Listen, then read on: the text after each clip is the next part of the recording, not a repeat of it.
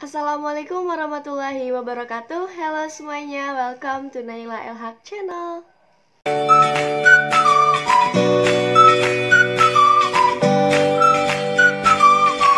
Teman-teman semua, di video kali ini kita bakal bikin tutorial lagi Yaitu cara edit foto ala virtual photoshoot Nah, editnya gampang banget guys, jadi cuma pakai handphone doang. Dan kalian juga bisa milih beberapa aplikasi untuk edit fotonya.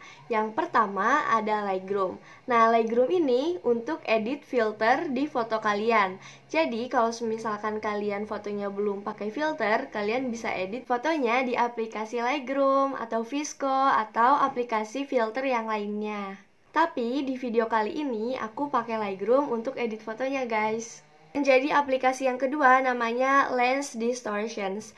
Nah, aplikasi ini untuk menambahkan blurry effect di foto kalian, seperti ini. Nah, jika kalian ingin menambahkan blurry effect seperti foto tersebut, kalian bisa menggunakan aplikasi ini. Dan aplikasi ini tersedia di Play Store. Aplikasi yang ketiga ada Unfold dan Story Art. Ini juga tersedia di Google Play Store ya guys. Kalian bisa pilih salah satu di antara Unfold atau Story Art atau misalkan mau pakai dua-duanya juga boleh. Aplikasi ini fungsinya untuk ngegrid foto kalian dan kalian juga bisa pilih bingkai yang lucu-lucu untuk foto virtual photoshoot kalian. Jikalau kalian melihat foto virtual photoshoot yang menggunakan bingkai seperti ini, nah biasanya ini diedit di Unfold guys atau di Story Art atau mungkin ada aplikasi yang lainnya. Oke teman-teman, jadi tanpa banyak basa-basi langsung aja yuk ke tutorialnya. Jangan lupa like, comment, share, dan subscribe. Selamat menonton! Halo teman-teman semua, jadi langsung ke tahap editingnya ya. Yang pertama itu pakai Lightroom. Kita buka aplikasi Lightroom dan ini aku udah uploadin beberapa foto yang bakal aku edit. Dan aku juga udah edit satu foto yaitu yang ini. Jadi kurang lebih aku bakal edit foto pakai filter yang seperti ini.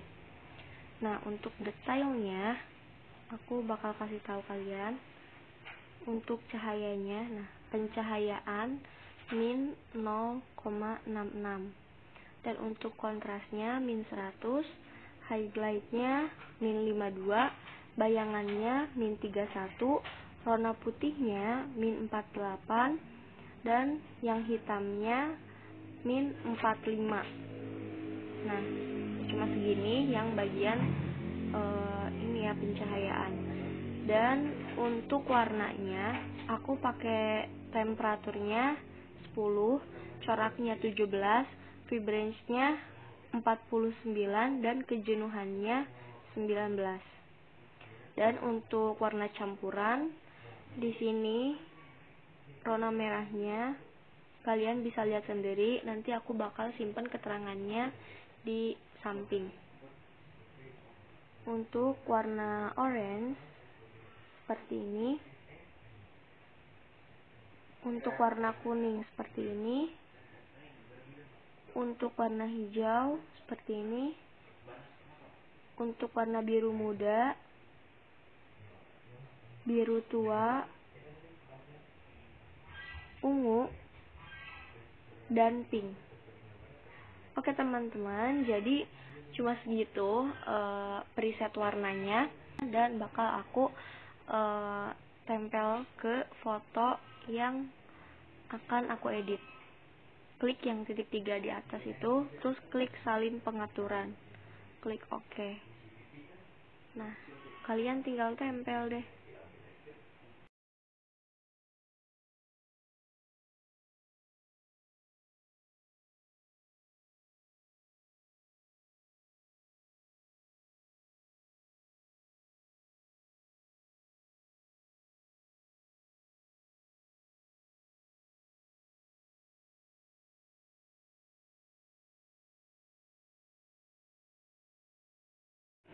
Oke teman-teman, jadi semua fotonya udah aku edit dan sekarang kita bakal save ke perangkat.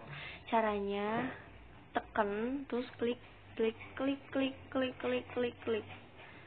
Terus habis itu klik yang ini, share dan simpan ke perangkat. Tunggu sampai semuanya beres di ekspor. Oke teman-teman, dan ini udah selesai di save. Oke teman-teman, untuk efek blur-blurnya atau cahaya kayak gitu, kalian bisa pakai aplikasi LD atau Lens Distortions. Nah, apa tuh? Gimana bacanya? Nah, terus kalian choose a photo to edit. Nah, kalian tinggal pilih fotonya yang bakal kalian edit. Ini aja.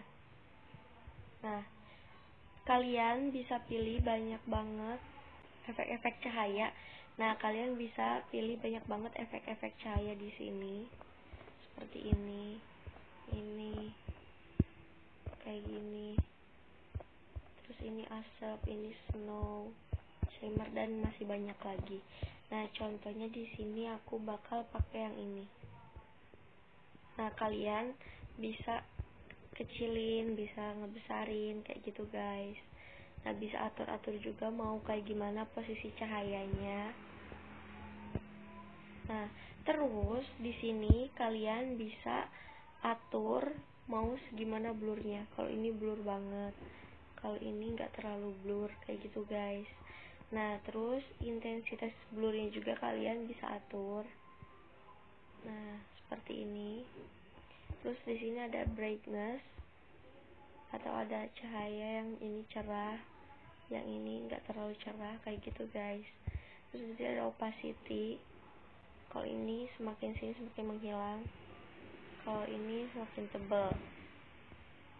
Kontrasnya juga kalian bisa atur mau segimana terus saturationnya kalau ini ke sini dingin kalau ke sini nambah warm atau hangat terus colornya kalian bisa pilih warna apa. Kayak gitu guys. Nah kalau flip H ini berarti ngatur cahayanya mau di sebelah kanan atau kiri. Kayak gitu. Kalau flip V yang ini atas sama bawah. Kalian mau di posisi mana cahayanya? Kayak gitu guys. Nah contohnya kita hapus dulu. Aku mau pakai yang ini cahayanya. Dan aku nggak akan edit lagi karena segini juga menurutku udah bagus. Nah kita atur. Misalkan cahayanya seperti ini. Nah kita tinggal save. Udah deh langsung ke save di galeri kalian. Gampang kan? Setelah itu kita masuk ke unfold. Nah masuk ke unfold. Di sini aku nggak pakai yang premium ya teman-teman. Terus klik uh, halamannya dan kita klik yang plus nah kalian bisa pilih banyak banget bingkai-bingkai yang kalian bisa gunakan. Karena aku nggak pakai unfold yang pro jadi aku cari yang gratisan aja di sini. Nah aku pilihnya di yang 9 nah kalian bisa pilih sesuai dengan keinginan kalian dan aku bakal pakai yang ini bingkainya. Oke teman-teman, setelah itu kita klik yang plus, klik galeri. Terus kita pilih deh fotonya 1, 2, 3, 4, 5, 6, 7, 8, 9. Klik selesai. Nah, setelah itu kalian tinggal atur deh posisinya sesuai dengan keinginan kalian.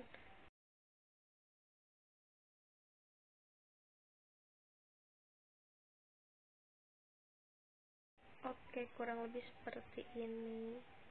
Ya, kurang lebih seperti ini. Terus abis itu kita tinggal save ke perangkat Anda. Udah deh, jadi ke save. Tinggal lihat di galeri. Nah, yang kedua yaitu kita pakai story art. Di sini aku nggak pakai yang premium juga atau yang pro Nah, kalian tinggal pilih banyak banget uh, frame-framenya yang lucu-lucu. Dan di sini aku mau pakai yang film. Nah, klik yang si all. Nah, kalian bisa pilih tuh. Banyak banget.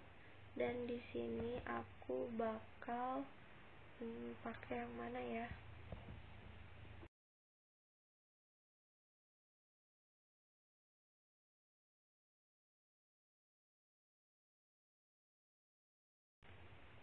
Nah kalian klik yang plus ini. Nah terus pilih fotonya. Contohnya di sini aku mau pakai yang ini. Nah kalau di story art kalian bisa pilih filternya ya. Di sini aku nggak akan pakai filter. Gini aja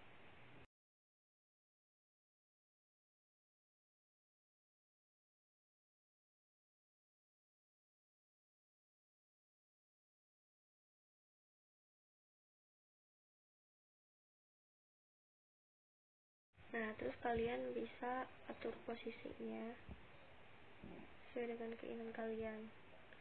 Nah contohnya udah kayak gini. Karena ini termasuk yang premium tuh kalau di save jadi aku screenshot kayak gini. Nah terus nanti tinggal ke galeri. Klik yang ini. Nanti tinggal klik edit deh dipotong.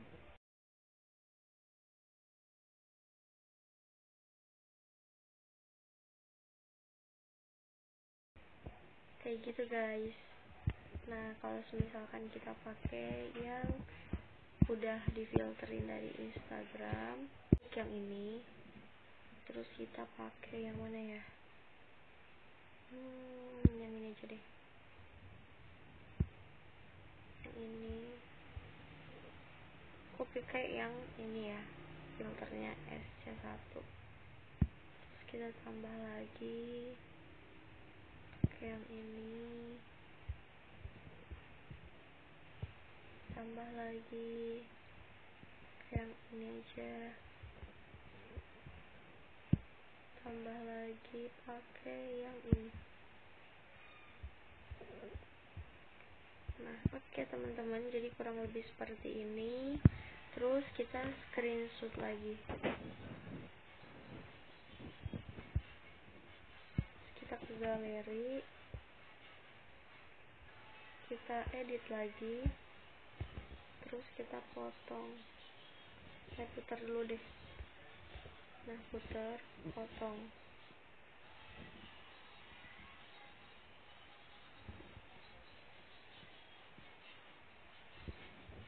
Terus klik OK selesai udah deh kurang lebih seperti itu teman-teman cara editnya semoga kalian suka selamat mencoba Oke teman-teman, sekian video tutorial dari aku. Semoga videonya dapat dimengerti dan semoga bermanfaat. Terima kasih telah menonton video ini. Jangan lupa like, comment, share, dan subscribe. See you di video selanjutnya. Wassalamualaikum warahmatullahi wabarakatuh.